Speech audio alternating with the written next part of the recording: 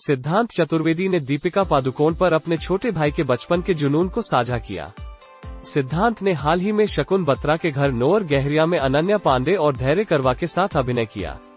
सिद्धांत ने एक साक्षात्कार में टिप्पणी की कि उन्होंने दीपिका के पिछले सह कलाकारों के बारे में सोचा और महसूस किया कि उन्हें अपना सर्वश्रेष्ठ पैर आगे बढ़ाना होगा। सिद्धांत ने टाइम्स ऑफ़ इंडिया को बताया, मेरे छोटे भाई ने उस पर एक चीज़ विकसित की है। मुझे याद है कि जब हम अपनी फ़िल्म की शूटिंग के बाद उनसे मिले थे तो वह शर्मा गए थे। हमने ओम शांति ओम को तब देखा जब वो तीन या चार वर्ष के थे। उसके पास उसके लिए एक चीज़ है क्योंकि वो 21 फरवरी को 18 साल का हो गया था।